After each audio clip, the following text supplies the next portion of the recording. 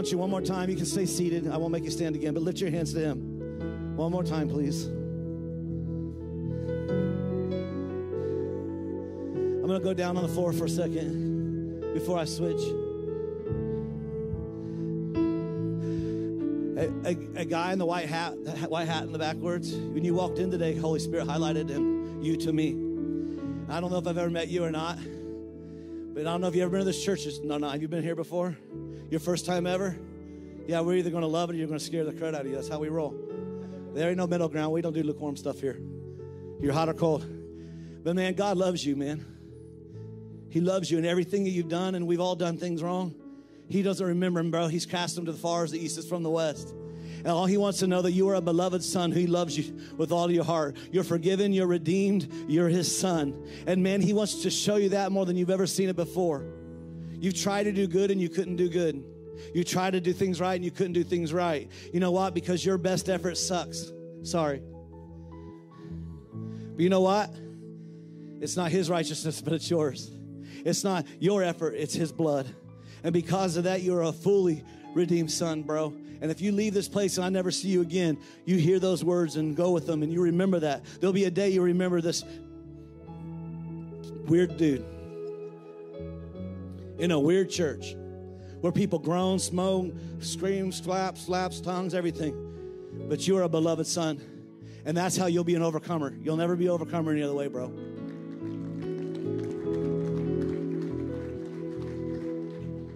Some people want to come get these offering boxes, so Mark will quit sweating. I can see his bald head glowing from here.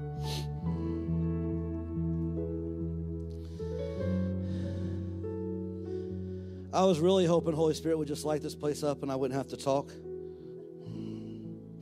But I do feel like I have some prophetic words. And didn't Lucas do amazing last week? I don't know if you were here last week or not, Pastor Lucas. I honor you for that word. That was fire and all those things. And uh, but I really, really feel it's so crazy because uh, I've gotten two words since I've been here. And uh, Phil Davis came to me, and then my aunt Vicky. I got that kind of second hand about what God is saying. Well, it's crazy, Vicky. It's the same thing. Phil Davis, you spoke to me. It's the exact same thing, almost word for word, that happened to her at the house today. Word for word. And you're about to see in a second, Phil and Vicky, that he already spoke it this morning before we ever talked because that's how holy spirit walks. I feel like i have to say this if you're a guest and visitor. What was that tongue thing? What was what was going on there? It's called tongues interpretation of tongues. It's in 1 corinthians chapter 13 you can go read it. You understand that? It's a gift of the spirit. It's for the equipping and edifying of the church. What was that what was that woman speaking in english? That is the interpretation and that is the word for the house. I know a lot of people don't like it but you can take that up with heaven because it's all over heaven Is it misused? Yes. But for us to quench it because it's misused, not saying it was this time, but it, it, it, we're, we're ignorant about that. Lucas has a supernatural class you need to attend. There's a plug. So I feel like I'm just not really have a sermon. I'm, I'm not. I'm not that kind of person or speaker. But I feel like I have a word from the Lord, okay? And I asked everybody to listen, and I got rid of your kids for you. So it should be a little easier. Um, and I got this quote. This is a Bill Johnson thing, so I don't want to steal it, but I like Bill Johnson a lot. I believe he's a he's a general of the faith in our in our time, and I don't know how much many, how, how many more years we have with him on earth, but man, that man's helped me a lot, and he's never met me. But he says this he says, Sometimes we wait for God to show up and make us bold. When more often than not, God shows up when he finds a bold person. In Acts 4, we know that the Holy Spirit fell on them the second time. The Holy Spirit fell upon them, and they were filled with, Bible says, with, with power and boldness. How many knows that in Acts 4? Am I right, Keith? If I'm not, just throw something at me, okay? And um, but in Mark 16, it talks about the power of the gospel is being preached. And as the power of the gospel is being preached boldly, what happened was the power of God showed up. Smith Wigglesworth says this. Smith Wigglesworth said this, past tense. He, he sat there and he said, he goes, if the whole, my, people don't like when I say this, but it's, it's the truth. When the, when the Holy Spirit's not moving, I will move the Holy Spirit. Smith Wigglesworth. What is he saying? Is he an arrogant, narcissistic preacher? No, he knew who he was. He knew what he carried.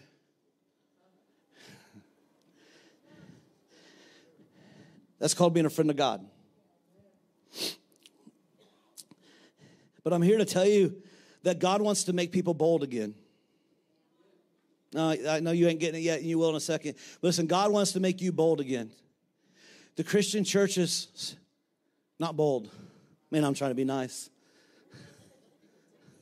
The Christian church is not bold. We're cowards about anything. And because of offense, because of her, because of the way the Western church has been for 15, 20, 30, 40, 56 years, whatever it's been, now we sit there and we serve God on eggshells. We speak on eggshells. I taught myself, Adam, living life, and I was afraid. I had a brother, he's not here today, and he sits there and he goes, Dude, you always have to come up with something. I'd be like, Yeah, God says this, you know, and I would always come up with an excuse. And he says, Why do you do that? And I said, I don't know why I do that. So I went to God for it with it. I went to God with it it and God exposed Hannah to me that I was doing it because I, not because He told me to do it, but I was doing it because I have developed this mentality of, of allowing my boldness to be watered down because of bitterness, because of offense, because of people said, because of speculation or accusation or whatever come my way. And so what I found out I was doing is I was trying to water down the, the, the word of the Lord, which is incorrect, which is bad, right? And I found myself doing that. And this dude called me out on it. Thank God for brothers in Christ, right? And, and this guy called me, I go, why do you do that? And I'm like, I don't even know why I do that. But it was a habit developed over time to try to, for me, to water down the word. But and, and what it was doing is it was stilling my boldness. I was afraid to say it like he said it. I was afraid to proclaim it like he told me to proclaim it. I was afraid to do it because I was worried about others, which is what called a, what one of the worst sins on planet Earth, the fear of man, and pride. And I feel like I'm more at a place, I'm not perfect by any stretch of the imagination, but I am more at peace with who I am, the gifting He's given me, and I don't give a flying, you know what you all think about me. None of you. And I say that in love. But they, they said, that's arrogant. No, that's freedom for Nathan. That was freedom for Nathan to be Nathan. And I feel like there's a boldness coming on the church, but it's not a boldness that's going to fall from heaven. Everybody wants to make the boldness come down from heaven, and I'm going to be bold. Sometimes boldness, my mom said it earlier, sometimes boldness is a choice. Adam, you said something on your podcast. You haven't listened. Man, I'm just, I take commission. Adam says, I'm on his podcast, and he said, I would rather have a, an aggressive, annoying a, a leader than a passive leader. I said it wrong, but you can fix it. You remember saying that? Adam said that in one of his podcasts. And when Adam said that in one of his podcasts, my spirit leaped, Adam. Because I found myself being that other leader. I found myself being that coward leader, which is my nature. Everybody that knows me personally knows that I'm not a bold person by nature. I'm not an aggressive person by nature. You see me up here. That's the gifting of God. That's the anointing on my life. That's not, but the real Nathan is a little bit backward. And everybody will amen awkward.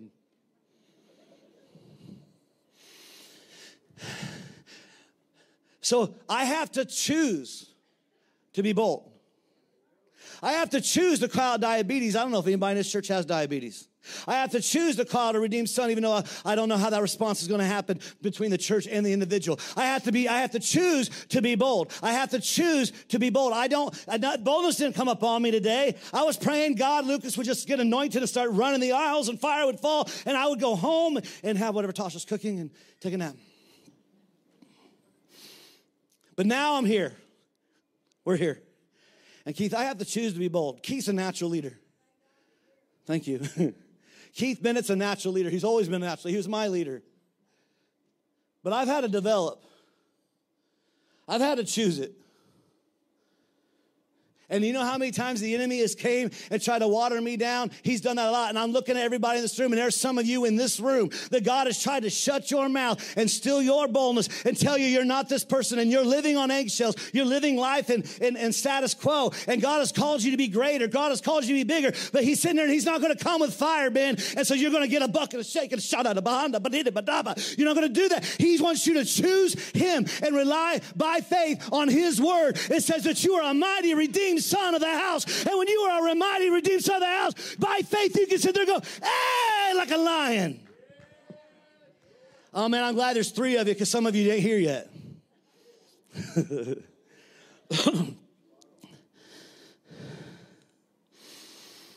the bold proclamation of the gospel is Mark 16. I feel, I feel many are in a season. I don't feel nothing. I know. God spoke to me. Many are in a season where you find yourself uncomfortable and you feel dry right now. I could tell by some of your worship, Lucas was working hard. I'm a worship leader, the games played. This is how we overcome. And you're checking your watch. You're in trouble, bro.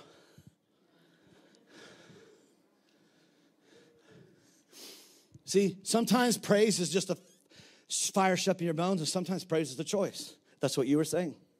So, what my mother was saying. But God said, Nathan, don't worship and look at the people, which I hate preachers that do that. and then he made me be that preacher. And I looked around the room and I saw so many, which just validated to me, Keith, what he spoke to me this morning with him in the secret place. I Th- how many, don't, don't raise your hand. How many in room you feel dry? You feel numb? You feel distant? There's a lot of you. I would say over half the crowd feels that right now, and that's okay. You can feel dry. You can feel numb. You can feel distant. You can feel like you're doing it. You're going through the motions. You're like it's the robot thing. You get up in the morning and you and you comb your hair. You, how many ever? How many felt like getting up this morning? You can raise your hand for that. How many felt? Like, how many the alarm goes off and you're like, yes, I get to get up. Today is the day the Lord hath made. I shall rejoice. And be, now I know maybe five, ten. Nathan didn't. My alarm went off at 6:30, and I'm like, why is it going off? Oh, I'm preaching today. Oh, yes. you think I, I'm not joking? but I feel the dry and I feel the uncomfortable. I feel the numbness. I feel what God is doing is he's, is, is he's preparing you for some, what, what's to come. That's what Vicky felt. I'm going there. He's preparing this church for what's come. God is in the dry. I just said the manifestations didn't stop. We stepped talking about them on purpose. He told us to. And then he tells us to talk about it, we talk about it. He says to show everybody with flashlights, I'll show everybody with flashlights. We do what he says to do. Period. I've had people say, Nathan, you could go on the road with that. It ain't me. And as soon as I go on the road, it really will stop.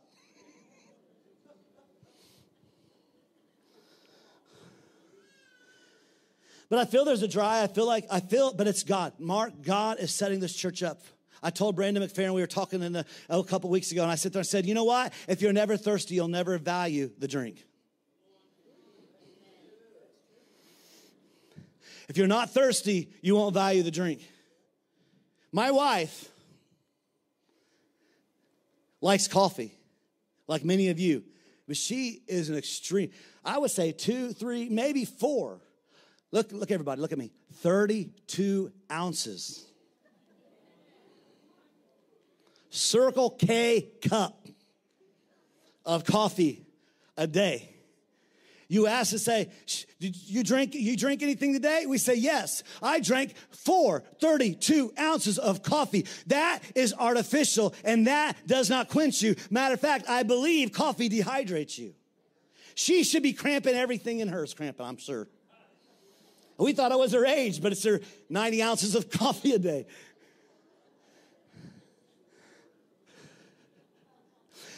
But you don't value it. And what we do in the dry season, what some of you guys are doing is you're trying to drink coffee when you're supposed to drink of the cup.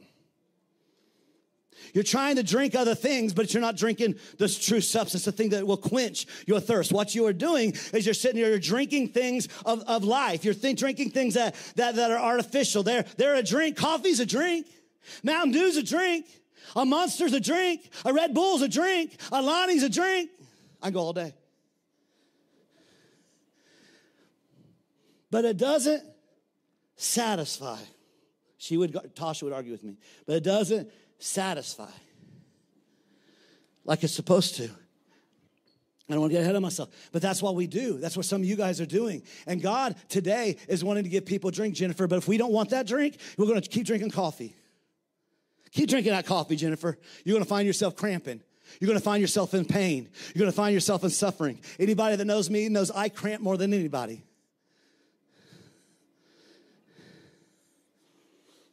Quick story my brother will enjoy. He's not here. As we, Todd likes hunting a lot more than I do. Todd is a better redneck than me, no doubt about it.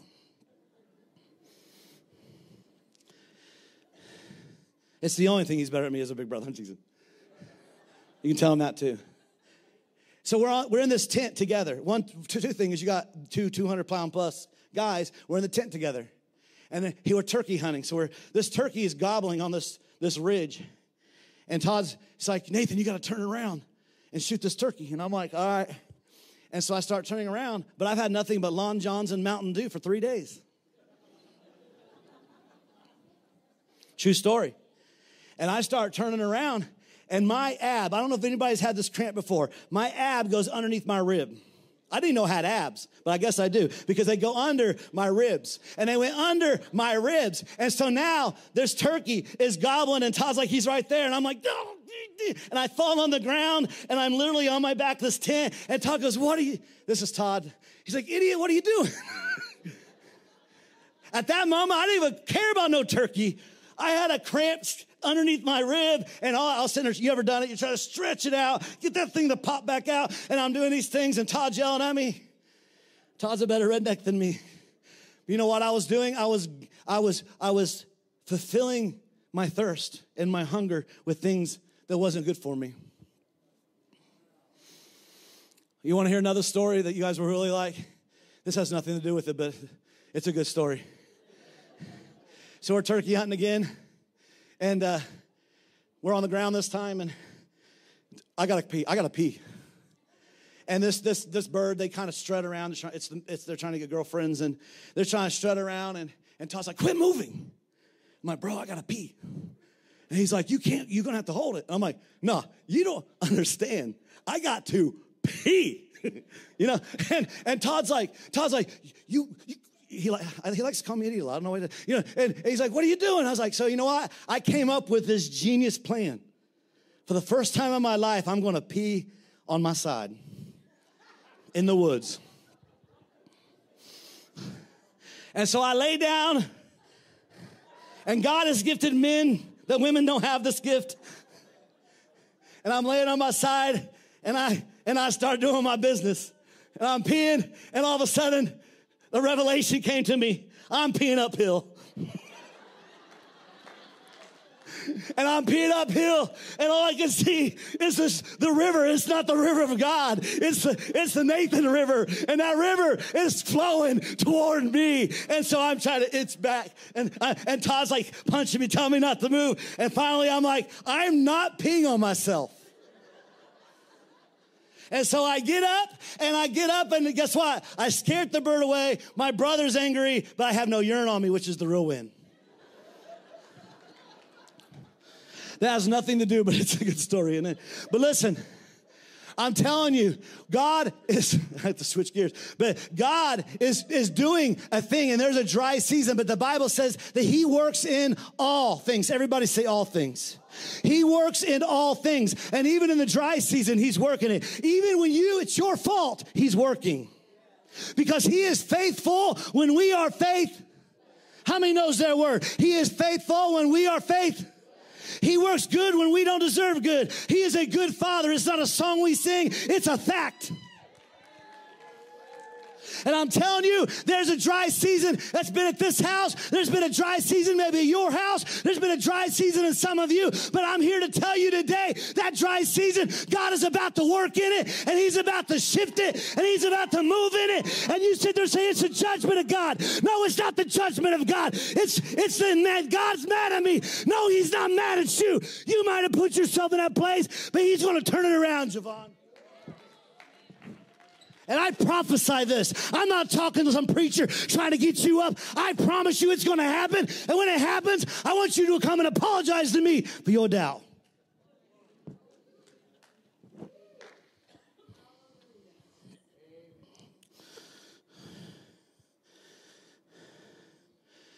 Luke, he works in all things.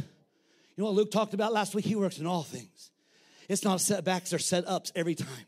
That's the goodness of our God. It's never a setback. When you are a son, it's never a setback. You might have to go through correction. You might have to go through a butt whipping, but he will work it for good. I know you guys don't believe that because your theology is jacked up, because you're watching too many podcasts and online preachers. But I'm here to tell you, as a father in the spirit, it's the truth. Turn that junk off.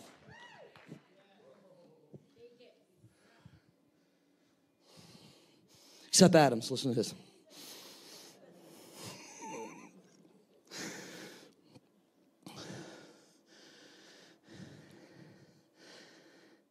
Jesus says this in Joshua 1 9. He says, Have I, talking to Joshua, he says, Have I not commanded you? Be bold, be strong, for the Lord our God is with you. We used to sing that song. Remember that one? we need Robbie here. Be bold, be strong, for the Lord our God is with you. This is spoken to Joshua, who did not have the Holy Spirit inside of him, did not have the fullness of God inside of him, and still Joshua believed the word of the Lord. Why aren't we? Why aren't we? Because you know what? Most of you live in law and, and foolish theology.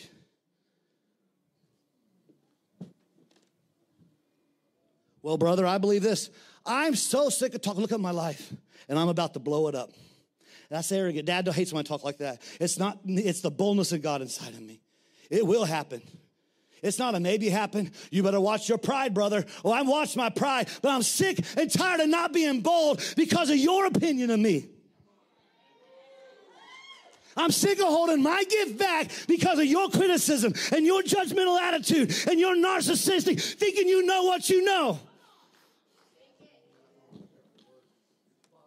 This has nothing to do with what I'm preaching about, but it's fire. Hungry people are bold. Hungry people are bold. If you're not feeling bold, if you're not feeling courageous, if you're feeling dry, you have to ask yourself one question. Are you hungry? Do you hunger and thirst after righteousness? Do you hunger and thirst after Him? Are you, are you hunger and thirst after the things of this world? They don't satisfy you. Money don't satisfy you. Things don't satisfy you. Clothes don't satisfy you. None of that satisfies you, man. The name brand don't satisfy you. Your Abercrombie and Fitch, which is a, a sex trade we just learned, is, is, is, is not going to satisfy you. Your Irish ain't going to satisfy you. And your Michigan ain't going to satisfy you. And your Ohio State, sports don't satisfy you. Detroit Tigers don't satisfy you. Don't throw stone at me, Joel. Uh, Joel's just the press I remembered. Thirsty people are bold. You want to see some of the boldest people on the planet? Go mess with a mom's kids. There's a term we say mama bear. You mess with McKenna, there's a mama bear coming out of my wife, all 110 pounds of her a mama bear will come out. Why? Because when you mess with something that you love, you know how bad the Antichrist spirit has been messing with the move of God and the plan of God and resisting in this nation, in the church. And we sit there and you know why? Because we don't love the church like we say we love the church. We don't love the nation like we say we love the nation. We don't love others like we say we love the others. Because when I see Luke getting messed with, you know what I should do? Mama bear should come out. Or dada bear, this. It should come out. Denise, when I see that little girl we were talking about being messed with, it should come out of you, it should come out of me. That's called family. That's real family. You mess with one, you mess with all. Faction before blood. Some of you get that, some of you won't. You know what else makes us bold? Hard times. You know what else makes us bold? Suffering. You remember the woman with the issue of blood? Why was she bold? She was desperate, desperate for a miracle. Listen, God loves you. The Bible says if you won't praise Him, He will allow the rocks to cry out in your place. That's scripture. That ain't no preacher saying that. That's a Bible verse. And you know what? And he will do whatever he does. And sometimes suffering, sometimes pain, sometimes that is the greatest vehicle to get you to where you're supposed to be with God. We rebuke it. We sit there and go, get out of me in the name of Jesus Christ. But it could be the very thing, the very vehicle God is using you to get to where you want to go. Better watch what you pray. You don't pray because what you feel, you pray because what you know, you hear Holy Spirit say. Because Luke, we do it all the time. We're actually coming against the will of God. It was God's will for Christ to die and suffer. It was Christ as God's will, as Abba's will for him to die on a cross and be last 39 minus one. It was God's will. And Jesus himself didn't want to do it because what he said, I've heard other people say they don't agree with it, but they're wrong. It's okay. We love him anyway. He says, God, if any way I don't have to be crucified and I don't have to be beaten and I don't have to bleed, if there's any way, God, if there's a plan B, I'm open to it right now. Because he was fully man, yet fully God. Am I right? But he said, nonetheless, you know what we need to get in the church? Some people that can say nonetheless. Oh, that's free. I've never heard that in my life till right now. But I'm telling you, I'm telling you, we got to get some Christians in the house that are nonetheless Christians. Christians that sit there and say, nonetheless, I want this, I want to do that, I like to do this, but nonetheless, not my will be, but your will be done. I wish this was my life. I wish this was my job. I wish this was going on. But you know what? Nonetheless, not my desires, but your desires be done. You want to walk in victory? There you go. You want to walk in freedom? There you go. You're not going to get it coming to church and sitting on a Western church Christian pew. It don't work like that. Doesn't work at all. And listen, sometimes suffering is the vehicle that will get you to a place where you pray. And that prayer, that not just pray, but that prayer, that praying, that moves mountains. The Bible talks about the deep inside of you crying out to the deep inside of God. Most people, most Christians don't pray. I think statistics like 80, 90% of Christians barely, hardly ever pray. The rest of those Christians, they pray, they have a devotional life, they have discipline, but they often like lack passion.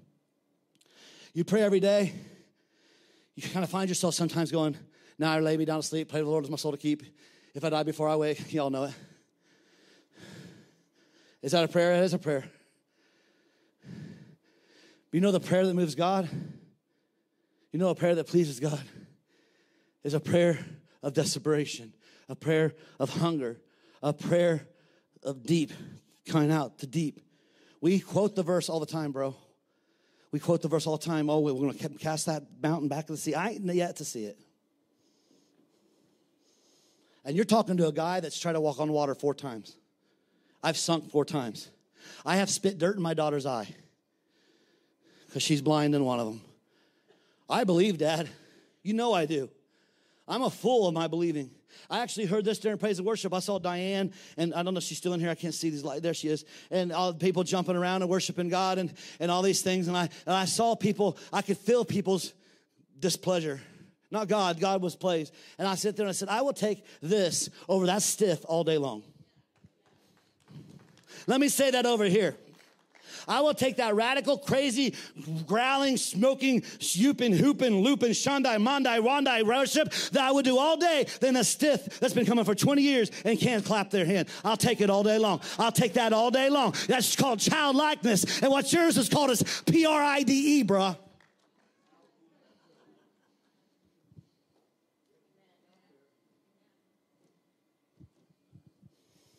I'm not here to throw a judgment stone. But if I can knock you down so you get up right, I'll hit you.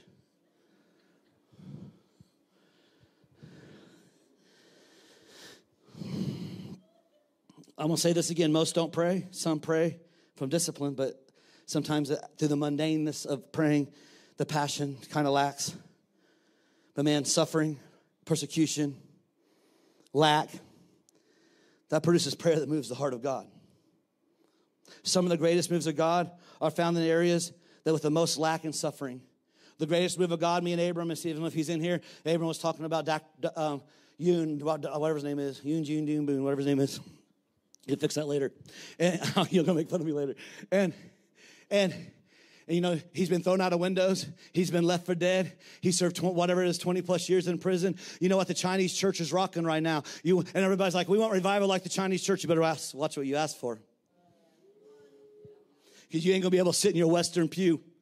You're to be able to sit there in your American comfort and go to church and feel good about yourself. Those people will die having church. We can't get people to come to church, Dad. But Lucas, we have a hard time getting people to be faithful to the house of God, even though the Bible commands us in the last days not to forsake those to coming together. To the Lord, I mean, we lack people. You know what? But they die for it. In the Muslim in the Middle East, they die. They beg to go to church. That's where their Jesus fish came from. They would draw the line. If it was safe to come in, they would draw the other line. The ichthus came from a persecuted church.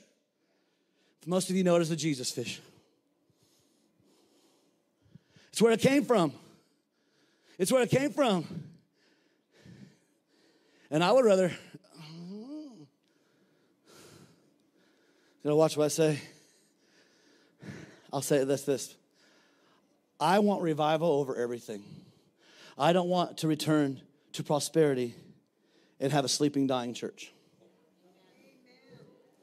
Bring the persecution on. I know that's a very, I'm in the minority on that one. But I've learned that I'm pretty much in the minority in everything, so it's good. Most don't pray, some pray out of discipline. Often, what we see in the natural is a reflection of what is happening in the spirit. Man, my dad and Mike, Pastor Mike, excuse me, has been saying that my whole life. And right now, Indiana's dry. I drove past the fire station and it has these big bold letters burn ban, effective. You're a firefighter, is that what it says, Caden? We're not supposed to burn. Don't come to my house. But it's not supposed to burn. Just playing, kind of. It's a burn ban. Why? Listen, everybody look at me, please. I'll try to wrap up, but I will not hurry the Holy Spirit. Why is there a burn ban? Mr. Firefighter? Because right now it's so dry. And if the wind's blowing at all, the smallest spark can turn into the greatest flame. Can anybody see where I'm going? what happens in the natural often reflects what's happening in the spiritual. We are in a dry season, one of the driest seasons Indiana's been in many, many years. There's a burn ban because of the burn ban, because the smallest spark can create a field fire. You want to ask about field fires? Ask my brother and Dan Young. I had to help him. My shoes are still black, Vinny. He owes me a pair. Remind me about that. I stomping that out because Dan let that fire. Tasha goes, What are you doing? Me and Dan are trying to get shovels. We're trying to get that fire out. It wasn't really him. It was a worker, but you know, we'll blame Dan. Being a good neighbor. Listen, and I believe it's dry, Judy. And I believe God is saying, be bold and be strong, for the Lord of God is with me. Because I believe that, that, that the shaking that we've been experiencing over this house, two words that went forth. First word was, everything that can be shaking will be shaking. We have been seeing that. The other one was that we are at a threshing floor. Y'all heard the word of the Lord. Don't forget the words of the Lord. We're at a threshing floor a moment. We have seen both of those fulfilled big time. We've seen both of those fulfilled. And guess what? Because of those things, dryness has come. But what's happening is there's going to be somebody, and I believe there's people in this room that you're going to rise up and you're something inside of you know what? I don't feel bold. I don't act bold. I just, my life's not the greatest right now. I feel dry. I feel, but you know what? I'm not going to go by what I feel. My mom just talked about that. Lucas just talked about that. But I'm going to go by what the word of the Lord says. And the word of the Lord says, be bold and be strong, for the Lord thy God is with me. And if I'm bold, guess what? One little spark can ignite a whole city. One little ministry giving coats and hats to people who are in less. You know what? That could create a citywide revival. You know, we're just, uh, we're, no, you're not. You're obeying the word of the Lord. And that's what brings the fire.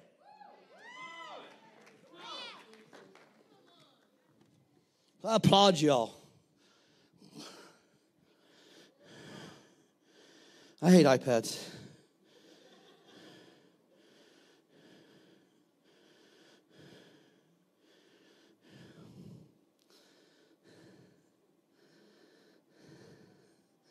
Sometimes in dry season, people start falling. Remember the children of Israel when they were thirsty? And say, the person that did all the miracles in Israel, Dad, God used all the, the Moses for the 10 plagues, the parting of the Red Sea. And now they're thirsty. Now it's dry. Now they're in the desert, and now they want to drink. No matter what they saw, now they're murmuring, complaining, saying, You should have left us in Egypt. Why are you bringing us out here to die? Have you guys ever think about the foolishness of these people?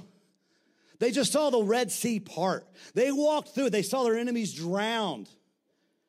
They witnessed the 10 plagues of Egypt, and none came nigh to them.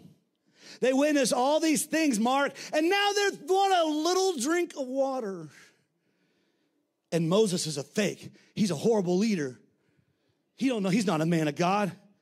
He brought us out here to die. What a, we should have stayed back in Egypt.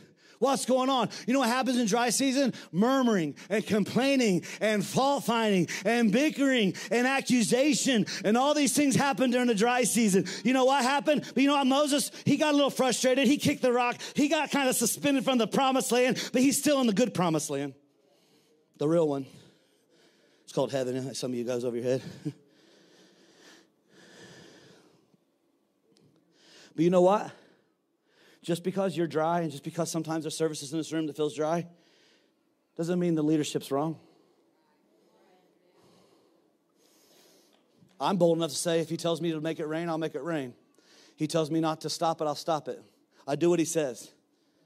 He wants me to highlight the gold dust and the oil, I'll highlight the gold dust and oil. He says not talk about it for a month, I won't talk about it for a month. He says heal the sick, I'll heal the sick. I'm just going to do what he says. I'll do it with boldness. And because I do it with boldness, he shows up.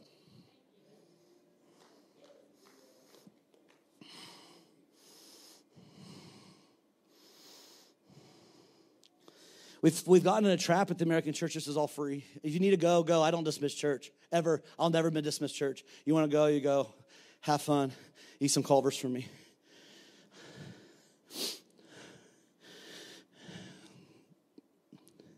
We've gotten this habit, what we call good church, good music, and a good sermon. I'm a worship leader, and I love good music. And I preach sometimes, and I love a good sermon. But that doesn't qualify anything as a successful moment. The kingdom of God is not taught.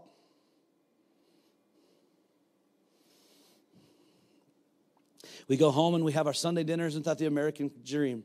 The American Christianity. We go have our dinner and we live our lives the way we want to live it through Monday and Saturday. We come back. It's, you know where that came from? That's leftover from the first Reformation when we separated from the Catholic Church. It did that part stayed. We got rid of a lot, but that one stayed. What does the Catholic Church do? They go to their priest.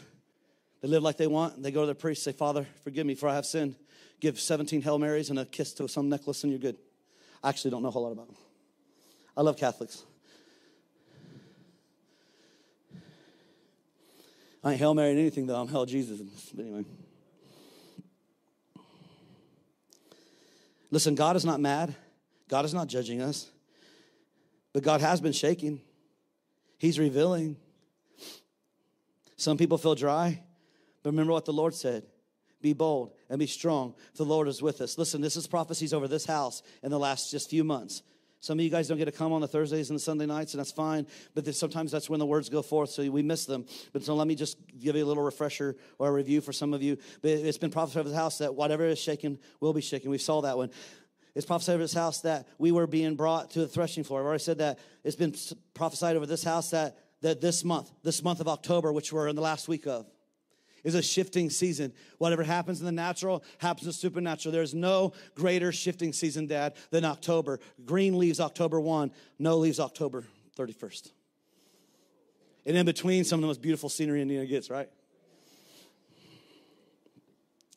But it was prophesied that in this month there would be a shifting.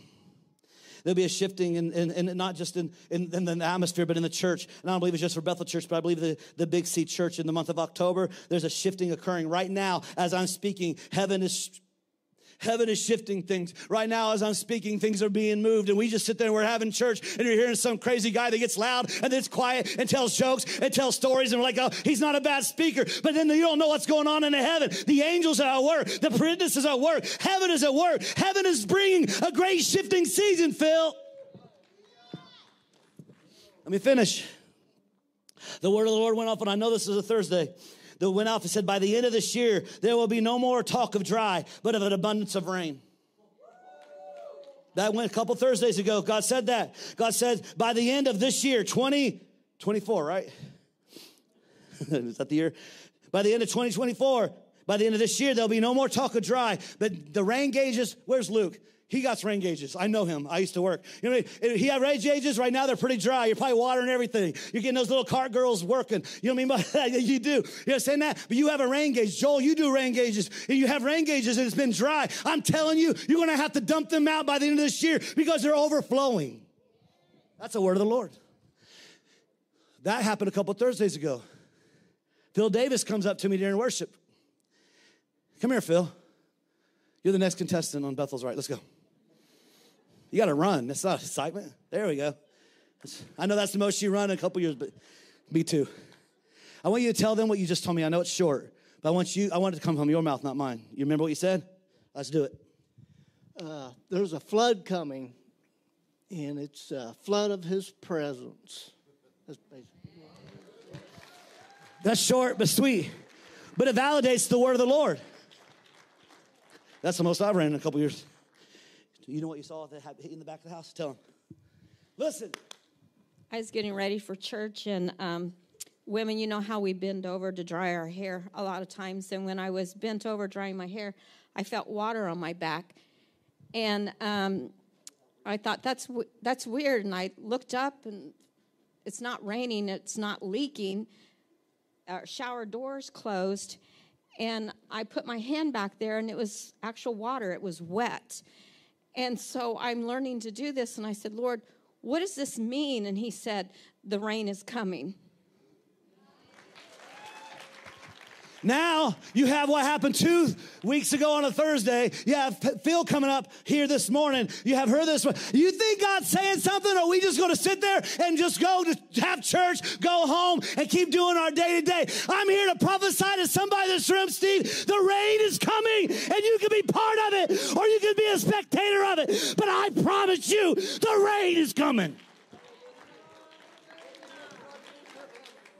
It'll come through one or it'll come through a whole family, which is his, his will, but it is coming.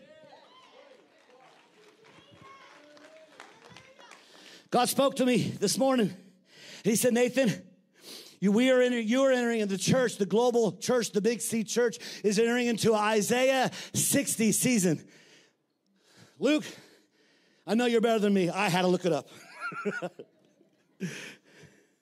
I was like, okay, yes, God, Isaiah 60 season. What's it say? Yeah, I'm gonna go look that up. Google Isaiah 60 season. Come here. I want you to hear this. Tasha's a better reader than me in my contacts because I'm getting excited and they're sweating, so I can't see nothing. I'm not getting old. It's not bifocals.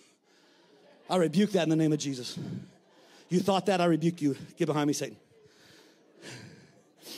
When you read the highlighted portion, they have it on the screen too. Isaiah chapter 60, verse 1 through 18. Read it for me, hon. Arise, shine, for the light has come, and the glory of the Lord is risen upon you. For behold, the darkness shall cover the earth, and deep darkness the people. But the Lord will arise over you, and his glory will be seen upon you. The Gentiles shall come to your light, and the kings to the brightness of your rising. Lift up your eyes all around and see. They all gather together. They come to you. Your sons shall come from afar, and your daughters shall be nursed at your side.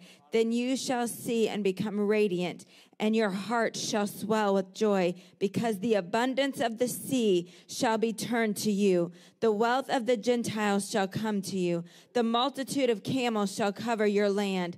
The dromedaries of Midian and Ephah, all those from Sheba shall come. They shall bring gold and incense, and they shall proclaim the praises of the Lord.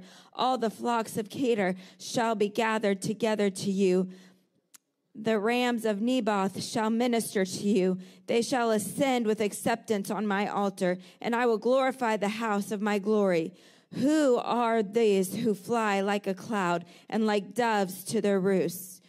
Surely the coastlands shall wait for me, and the ships of Tarshish shall come first to bring your sons from afar, their silver and their gold with them, and the name of the Lord your God and the Holy One of Israel, because he has glorified you. The sons of foreigners shall build upon your walls, and their kings shall minister to you. For in my wrath I struck you, but in my favor I have had mercy on you.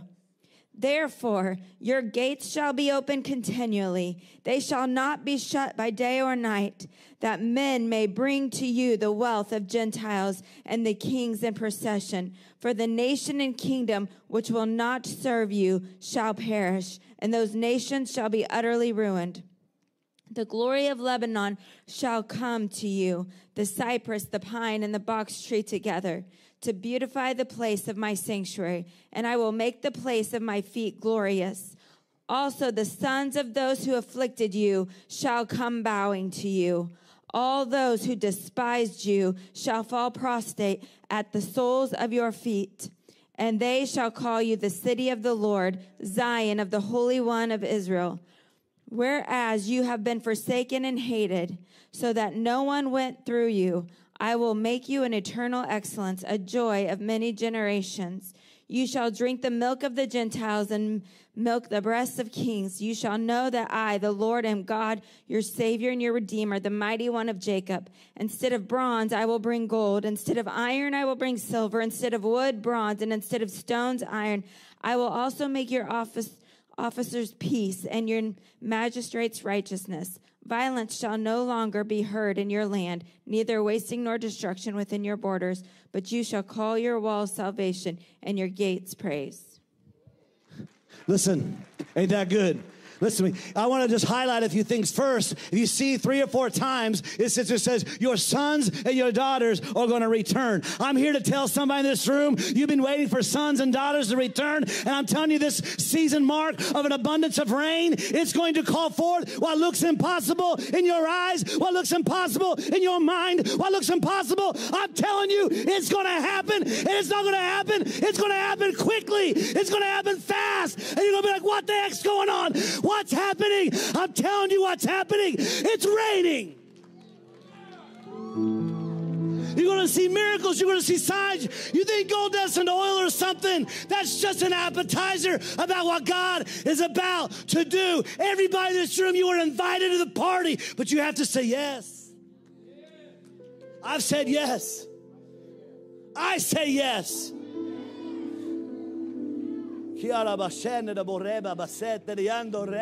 I say yes. And if you don't, you can't say yes. You don't have the courage to be bold, so your kids will come home. I'm going to be bold for you. That's what family does. Man, the marriages are going. Man, we can afford everything going on. Adam just, it's everything. There's, we can, it's, it's just it's coming. Why? Because it's raining. Tahani, it's raining. I know there's doubters in this room because your theology's whack. So I challenge everybody in this room. You believe your way, you believe, I believe the way I believe. Just give it some time. And if I'm wrong, I'll repent. I'm not wrong. Because I don't go by just what the Holy Spirit says. We have a Holy Spirit says epidemic at the church. The Holy Spirit says this, the Holy Spirit says that. You know why you're not supposed to be discipled by the Holy Spirit? You're supposed to be discipled by spiritual authority. Oh, nobody's gonna like this one, Dad, but this is for you. Because you're nicer than me. Listen to me. If you've never been a disciple, you're not qualified to be a disciple maker. If you've never been under, you never deserve, you don't, you don't deserve on top. Well, I feel like the Holy Spirit said this. I'm telling you, Dad, I've heard so many people say that lately, and it's from demons. You can't just do what the Holy Spirit tells you. Well, my heart feels like that's the Holy Spirit. Your heart is deceptively wicked, the Bible says. Why in the heck would you trust that thing? That's not Old Testament, that's New Testament. That's the dispensation of grace that says that.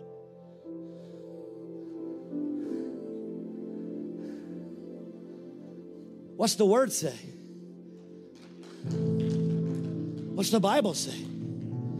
Well, the Holy Spirit said he will never contradict the scriptures. Well, the Bible says this, and it kind of agrees. You never make doctrine or a belief system out of one scripture. That is foolishness. And you better always read it in context.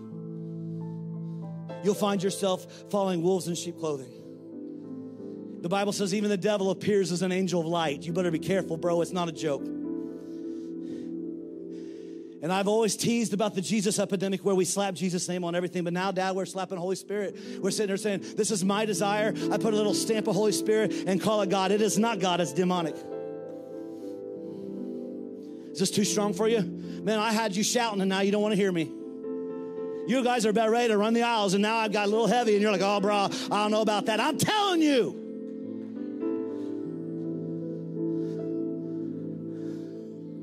The Bible says in the last days, if he had not shortened the days, Dad, the Bible says he hadn't shortened the days, even the elect. What's that mean? The people that know the most, the spiritually mature, they would be deceived. Is that what the Bible says? Luke, is that what the Bible says? Thank you. Read your Bible.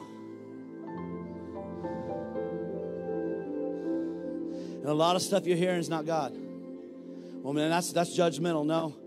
I've been quiet for long enough. And I ain't being quiet no more, Mark. And I'm not coming with you with talk. I'm coming with you power and authority. I'm coming with you with signs and wonders. Mark 16 says these signs shall follow them that believe. They'll cast out demons in their name. They'll stomp on serpents and they'll do all these other fun stuff. They'll drink deadly poison. It won't hurt them. That's why you can drink a Mountain Dew and feel good about it, Joel. I don't know if you still drink this. I do. I love him. I have a whole nother message and I'm not going to go because I feel like you don't want me to share it on discipleship. There's two things, all I'll say about Jill, is this right here. With the rain comes, there's two moves that's going to come. Number one is disciple makers have to become disciple makers. There are qualifications to be leaders. You don't get to be a leader because you want to be a leader. Everybody, look at me. You don't get to be a leader because you want to be a leader.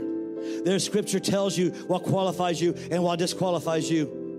And if you're disqualified, you go to the throne until you get qualified.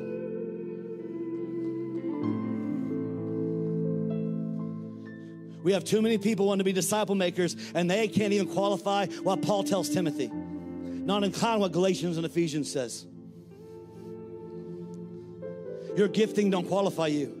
Your prophesying don't qualify you. Your casting out demons don't qualify you. You know what qualifies you? Your character. Can I read that real quick? Stand with me.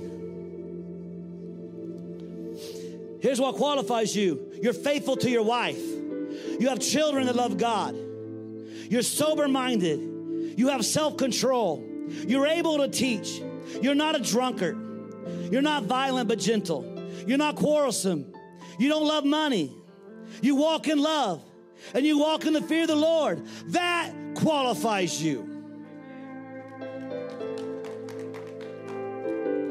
And then you have the big one. The second, the biggest part, is we have to have people willing to be disciples. In America, we don't like to be told what to do. We don't like instruction. We want to be independent. I'm telling you, the independent spirit is demonic. He called us to be a family with fathers and mothers and sisters and brothers, all walking free, Jake Hamilton says. We're supposed to be a family. I got to do this, Dad. Give me those. I have two tape measures. I know I'm going to get made fun of later, so I'm using Abram. Abram, get up here. Bryce, get up here, please. You're the next contestants on the Price is Right. We might a, we're going to give away a new car one day. Bryce, stay there. Abram, stay. Sit, boo boo. I want you to take this thing and go as far as you can without breaking. How about- You ever used a tape measure before? It's called measurements. Okay. Look, go as far as you can. Come on, Tuffy Luffagus. Uh oh. It's a 35 foot, you're not getting there. Watch him, watch him, watch him.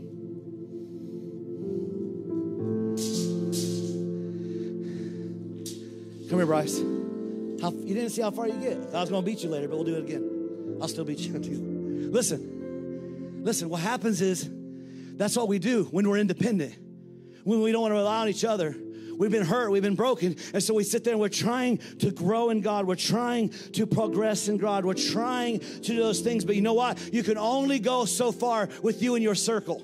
You have to have a body. You have to have a church. You have to do that. I want you to do it again. Abram, Bryce, come here, please. I know you're his brother. About 10 feet. So it won't break. Jeremy Spencer, come here. Andale, anda. Hold it about 10 feet. I know you know your stuff. Mark, come here. Keep going. It's 35 footer. I paid 20 bucks on this thing.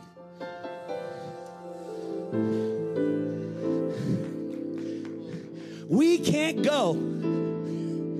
Stay there. Everybody stay there. We can only go this far, Dad, on our own, with our own might and our own power and our own ability. We can't do it. We have to have each other. Nobody has tried to be an individual and independent more than me. I've been hurt. I've been rejected. I've been talked about. I've been confused. And Adam, I got a mindset. I don't need nobody. I'll do it by myself. And God showed me you can only go this far. But if you get a Bryce, and it could be a covenant brother with you. You know what happened? You could go farther. Oh my God, what's it look like? Glory to glory. And then you get another brother, Jeremy, and you can go farther. And you get another brother, Mark, and you can go farther. Stay there. You guys are doing good. It's not heavy, you wimps. And how far can we go? That's why the Bible says that we must be one as He and the Father is one. We don't have to get along, we don't have to like each other, but we got to be united in Christ.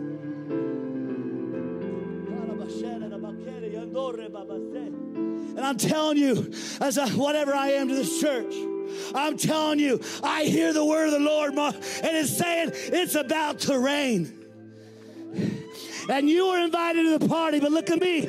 You can't do it by yourself.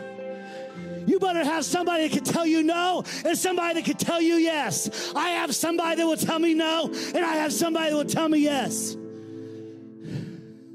Even Paul, Adam, more qualified than James, probably, if you went by signs and wonders. He goes all the way back to the church of Jerusalem to ask about circumcision. Jill Paul could have made his own decision, and he was probably in every one of our eyes in this room qualified to make that decision. But Paul knew something that we didn't get.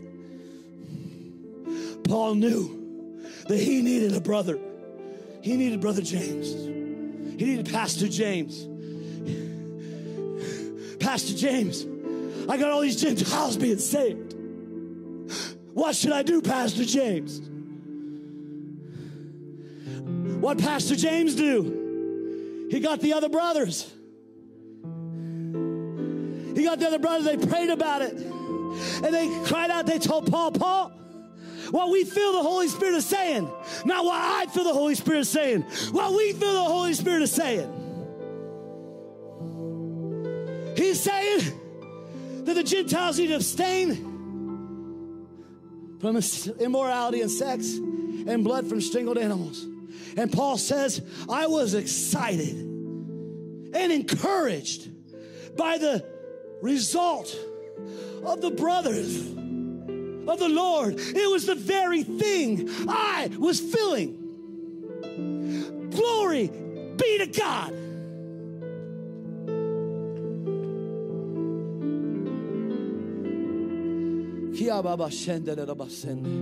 And I'm telling you, I prophesy to you today. There's a rain coming.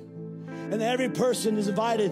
It don't matter if you've been saved a thousand years like Vicky or medium like Ben or a very new person. It does not matter how long you're invited to the party, but you can't do it your will and your way. You have to do it His will and His way. You can't do it because you think it's right. You gotta have people to surround you, and you have to have authority that covers you. You gotta have family that will sit there and say, No, no, no, Abram, no. But Nathan, I feel like, man, I said no, I don't feel it. He's a man, he can do what he wants. But if I really love him, I'm not gonna hold my tongue. Coward, not love. And we just talked about Mama Bear, didn't we? Ain't no Mama Bear gonna let her son or daughter get beat up on. Abram, you're not gonna let Walker get stepped on. You're not gonna do it, bro. I know you. You love that kid. You're not gonna let it happen. You're gonna defend that kid to the death. A great parent will give his very life for their kid.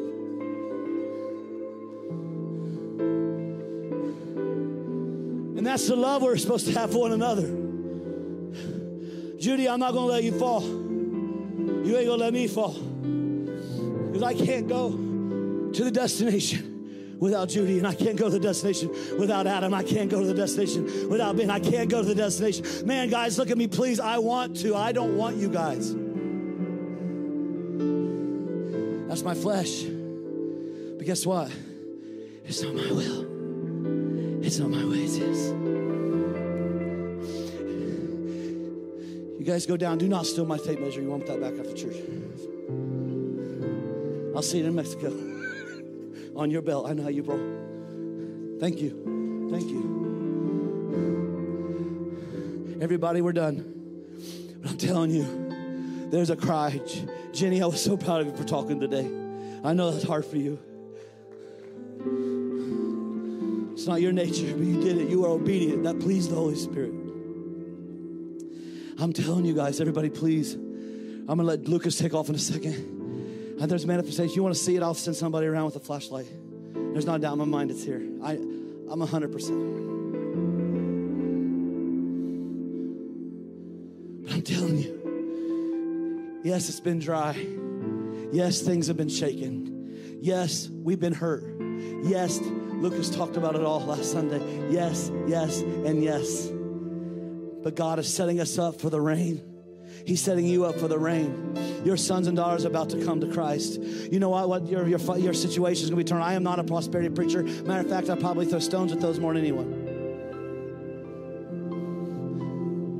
But I ha- I can't deny what He told me. I can't deny He led me to Isaiah 60. I can't deny that. I know you got to go. It's 106. I do not care. They won't come back. If that's the kind of church you're looking for, it's probably at your house. Go to another one. It's cool. But I'm telling you, if you want the rain, I want you to spend five minutes. I'm not doing all call, I'm not praying for nobody. I have another message. I don't know if I'll do it tonight or Thursday. I feel like I'm supposed to share it about discipleship. We'll see what happens. But here's what I feel. If you sit there and say, I want the rain, I say yes. I want to be bold and strong. I want to lean on the word of the Lord like I've never leaned on the word of the Lord for. I want to believe like I want, I want the faith to return to my heart and to my house. If that's you, if you want to have your American Christianity, I love you. I won't throw another stone at you. You understand that? You can just watch me burn. That's what John Wesley said.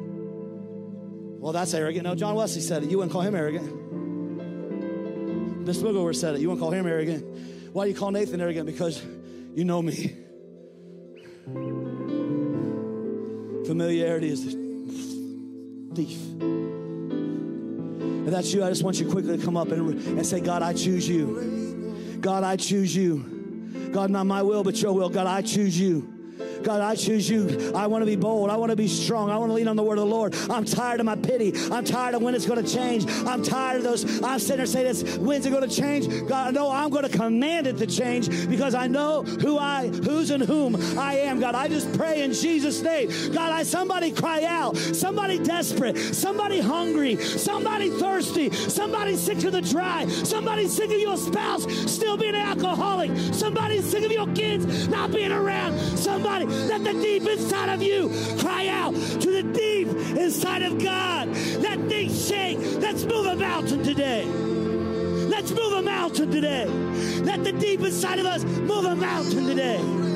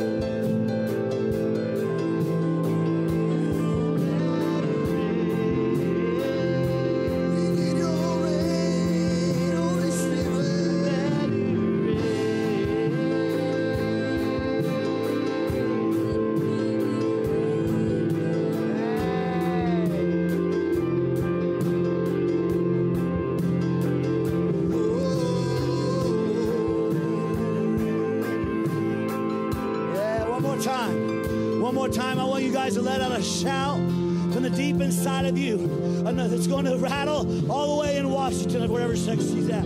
All the way. All the way. All the way. The Bible says that the deep inside of you cry out to the deep inside of God. That is a scripture. That means there's a place that you can tap into that you can't normally tap into. Most of us never get there. Most of us never attain that ability because we cut ourselves short.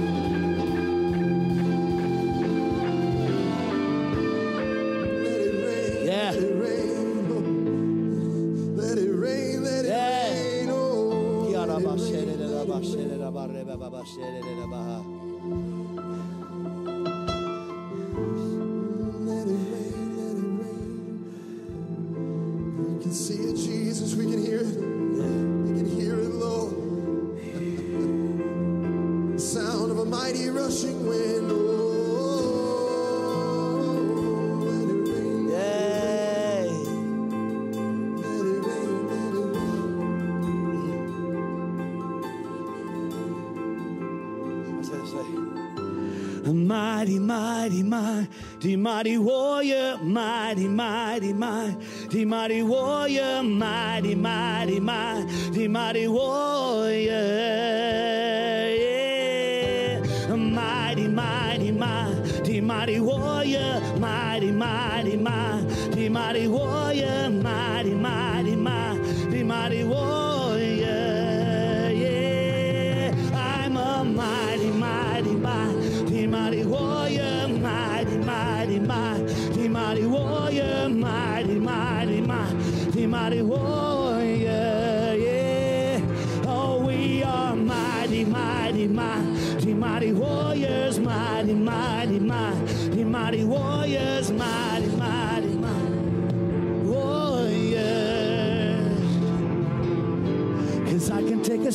and slay a giant. I can take a jawbone and slay an army. I can take a lunch and feed a multitude. Can you believe it? And I can take a slingshot and slay a giant. I can take a jawbone and slay an army. I can take a lunch and feed the multitude. Cause I'm a mighty, mighty, mighty. God, mighty, mighty, mighty, mighty, mighty, mighty, mighty warrior. Yeah, I'm a mighty, mighty, mighty, a mighty, mighty, mighty, a mighty, mighty. Yeah. Listen, I feel like there's somebody in the room. This is the last thing. There's a place where this father wanted his son healed. And Jesus in a nutshell said, Do you believe? And he said, Yes, Jesus, I believe, but help my unbelief. How many knows that story in the scriptures? I feel like there's somebody that you're like, man, I believe it. But there's still a, a, a piece of me that has a doubt. That's not a judgment thing. That's a that's there's a freedom coming to you. If that's you, I need you to raise your hand quickly, please.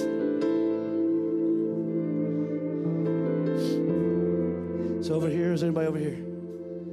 Vicky. Right, uh, I need some people, some family members that will hold the tape measure. There's a lady back here. Hey, Mary, we do that for me? We go with this lady back here, all the way in the back? Or Ginny, somebody knows her. What I, why does those people raise their hand? What they're saying is they need somebody to hold the tape measure so it won't break. That's what they need. And there's no judgment there. That's called, that's what family does, man. That's what family does, Austin. And I want you guys to get around these people. Lift your hands if you don't have somebody around you. I'm done after this. You, we can just, Lucas, do what Lucas does. There's a guy in a beard. Hey, bro, you, do you have your hands up for that? No, you good? You're shining like a glowworm in his lights. And so we're going to sing, Lucas, sing whatever heck you want. And I want you guys to pray, but don't pray some.